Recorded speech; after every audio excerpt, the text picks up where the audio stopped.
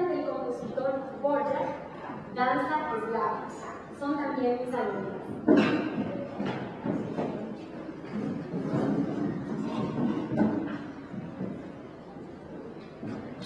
mis